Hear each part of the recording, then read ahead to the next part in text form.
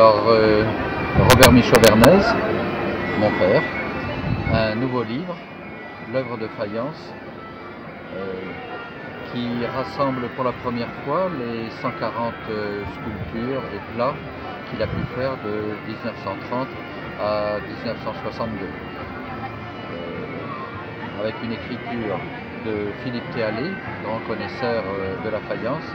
et qui donne une nouvelle ouverture à son œuvre, euh, ce qu'elle a pu représenter par rapport aux, autres artistes, à sa modernité et à son regard euh, particulier puisqu'il connaît bien euh, tout ce domaine-là.